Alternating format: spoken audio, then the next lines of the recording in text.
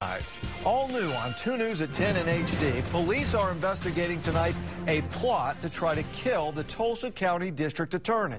According to a source, warrants are expected to be issued for several people connected to the Neil Sweeney murder case. Five people are charged in Sweeney's death Muhammad Aziz, Tarico Bethel, Alonzo Johnson, Alan Shields, and his brother Fred Shields. The source says that one of those suspects may soon face charges that he tried to hire a hitman to kill the DA. The source says it's in retaliation for prosecuting the Sweeney case. We'll keep you up to date on that.